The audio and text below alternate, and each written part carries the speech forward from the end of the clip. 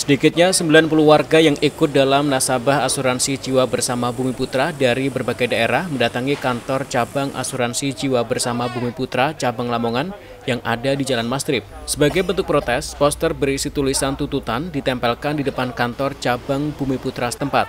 Mereka menuntut agar perusahaan asuransi jiwa ini memberikan hak para nasabah yang belum dibayarkan selama beberapa tahun terakhir.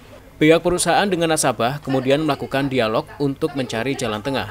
Namun, para nasabah kecewa lantaran tidak mendapat jawaban memuaskan dari pihak perusahaan. Selain tidak bisa mencairkan polis asuransi, nasabah yang telah mundur juga masih dimintai tanggungan uang oleh oknum Bumi Putra. Menurut Yayuk, salah satu nasabah Bumi Putra cabang Lamongan, dia bersama para nasabah lainnya kecewa dengan ulah dari pihak Bumi Putra Pasalnya, polis asuransi yang harusnya bisa dicairkan hingga kini belum bisa dan terus dijanjikan dan belum bisa cair.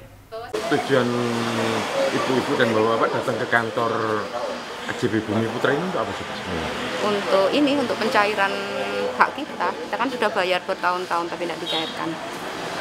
Alasannya kenapa kok selama nggak bisa dicairkan? Karena ini memang sudah menasional, kita tahu kalau sudah menasional. Tapi kalau kita nggak nuntut di daerah, terus kita nuntutnya ke mana?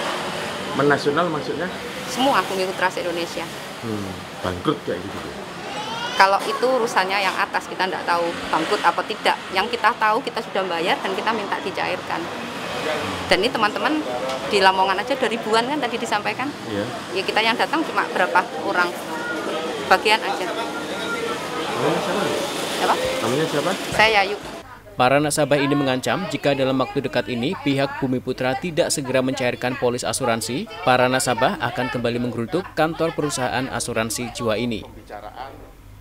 Zulkifli Zakaria, CTV Lamongan.